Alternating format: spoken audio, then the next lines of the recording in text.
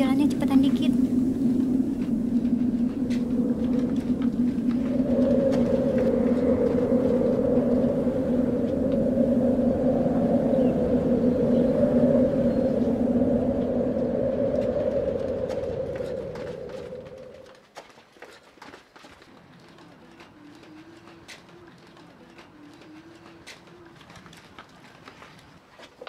Kalau jalan lihat ke depan, jangan tengok-tengok.